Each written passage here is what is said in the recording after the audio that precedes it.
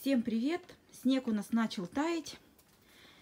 И начинается прекрасная погода. В тепличке уже у многих растений давно весна. Вот зацвел авокадик. Кому надо, пишите. Манго некоторые продолжают цвести.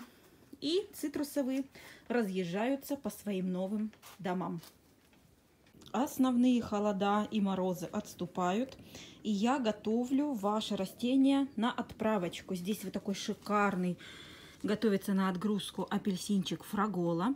Многие цитрусовые уже зацветают, у них весна, другие только готовятся. Есть новые приростики у многих уже, поэтому обрезочка им была только на пользу.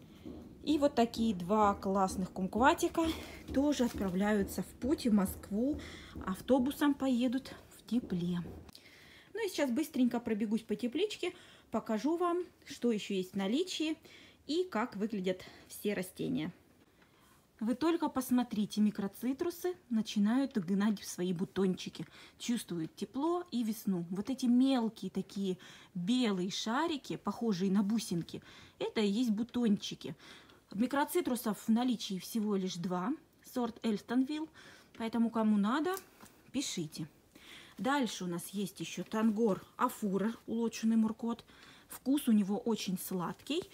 И многим нравится, потому что вкус действительно достойный. Вот смотрите, тоже есть уже бутончики. Такие мелкие-мелкие, но уже виднеются. А за ним стоят апельсины фрагола. Обрезочка пошла им на пользу. Посмотрите, какие начинаются у него приросты. И, естественно, бутончики. Так, сейчас подальше покажу. Видите? Все в приростиках и начинаются бутоны. Но не все апельсины фраголы только начинают давать приросты. Некоторые из них, посмотрите, посмотрите, какой высоты дали приросты. Это тоже апельсин из последней поставки.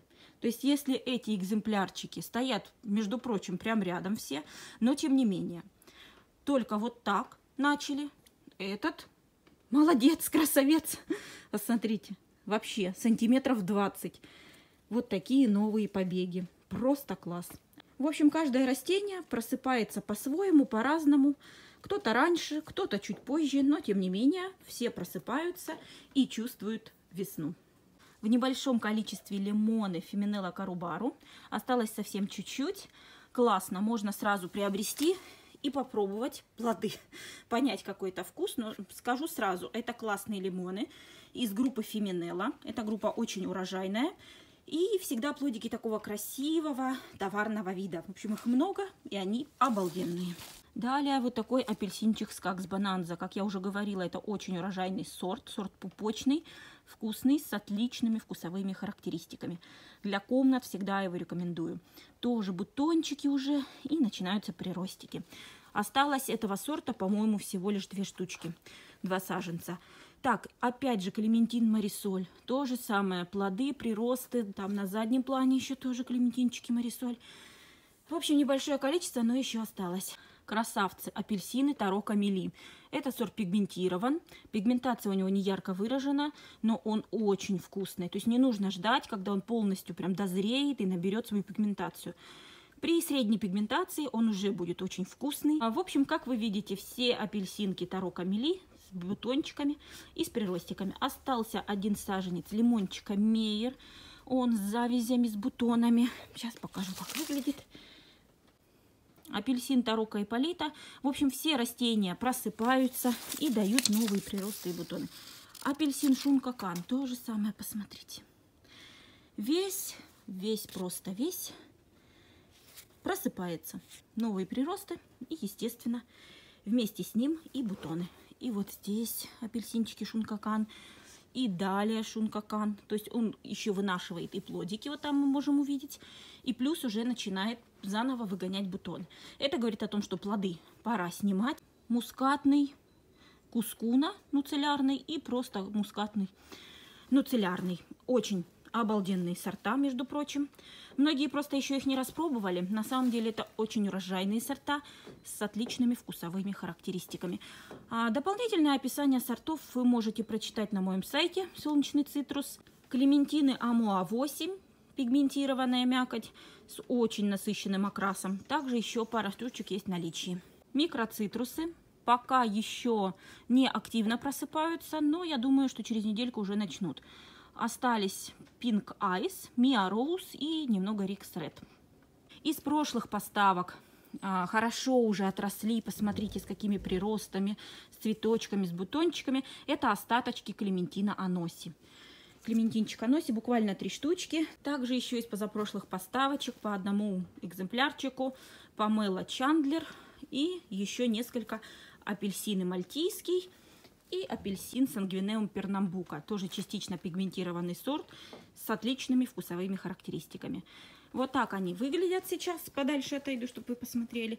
Новые приростики, вот такие ярко-салатовые. И вот так все это здесь стоит, ждет. И за ними стоят также совсем по одной-две штучки лимончики с желтой варигатностью от питомника Оскар Тинтори. Также все с бутончиками, с цветочками. Скоро будет новый урожай. На заднем плане с небольшими дефектами а, у нас мандаринки Тардива Дичакулли. И вот так это все выглядит. Здесь у нас есть мандаринчик Клемендор, тоже в единственном экземпляре, клементинчик Коммуны. А, немножко осталось мандаринов Кинг, очень крупноплодные мандарины, и апельсины четырехсезонные, Кватро Станджиони. Новый приростик еще мягкий, конечно, листик еще не окрепли, поэтому они такого ярко-салатового цвета. Буквально парочка мандарины Уншиу Миагава, сорт Миагава. И совсем немножко мандарины Уншиу, сорт Миагава, вот с такими классными приростиками и бутончики. Дальше, как всегда, есть в большом количестве апельсины, тарокко, варигатные. Очень классные, кто-то с плодами, кто-то с бутонами. Все так же, приросты начинают крепнуть. И вот так красиво и пестренько сейчас все это выглядит.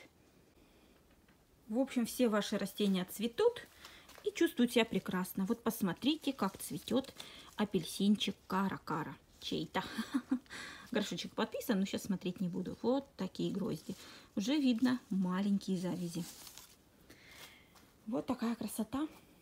В общем, показала вам небольшой фрагмент, как чувствуют себя цитрусовые, что еще осталось в наличии на 25 февраля. Поливаю всю эту красоту вот так вот из шланга, прям сверху. Всех мочу, крону в том числе. Полив у меня не частый, поэтому можно позволить цитрусовым такой душ, чтобы их заодно и искупать. То есть и полив, и душ одновременно. И вот так потихонечку стою и поливаю. Времени, конечно, уходит на это очень много, но зато всем комфортно. Все будут политы, попьют и скажут спасибо.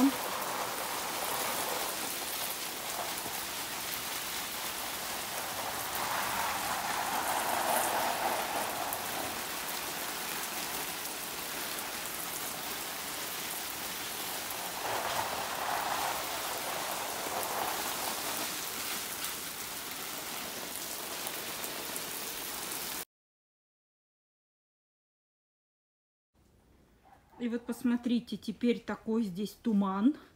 Видно там вдалеке, прям туман. Это поднялась влажность после полива. И вот эта влажность очень хорошо здесь и останется до завтра. И потихоньку она будет рассеиваться. Поэтому влажность здесь в основном высокая только после полива. Ну, а так, в принципе, влажность здесь обычно у меня средняя.